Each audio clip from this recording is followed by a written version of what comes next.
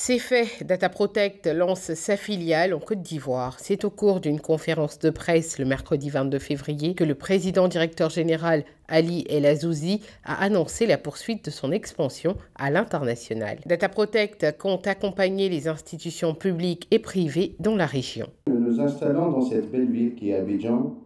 Le dynamisme, l'énergie, les perspectives de croissance du secteur de la cybersécurité en Côte d'Ivoire et dans la sous-région sont autant de facteurs qui ont motivé cette décision stratégique pour nous.